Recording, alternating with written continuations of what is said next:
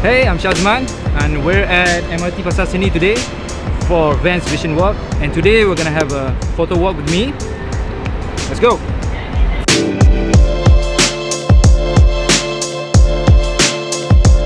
Before I got invited to be a mentor for, for this vision walk, I have been a big fan of Vans since I don't know when. Aku pakai Vans dari, dari dulu. Bila Vans approach me to be a mentor, I'm like, tak ada second thought lah. Okay, aku buat je. Dia brief aku, uh, vision walk is actually a photo walk. You bring these participants, you guide them how to take pictures. So what I understand from that brief is actually a normal street photography photo walk lah, which is not really my style.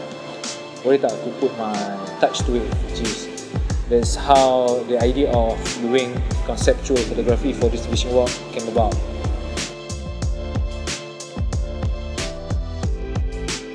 instead of doing street photography kita buat conceptual photography on the street.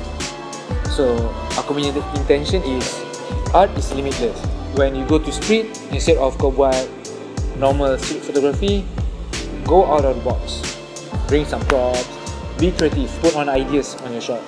So that's my intention.